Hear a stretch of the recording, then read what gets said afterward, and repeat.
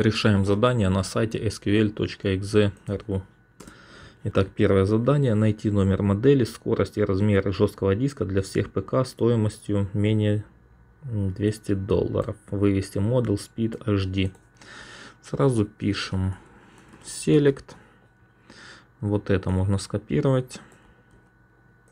Вывести надо нам модель Speed и HD. Указываем это через запятую, потом пишем from и название таблицы. Таблица у нас PC, так как ну, ПК PC.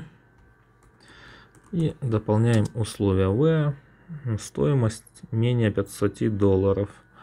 Where price меньше, знак меньше ставим 500. И жмем кнопку выполнить. Правильно, результат запроса вот такой. Все, задание 1 выполнено. Переходим к следующему.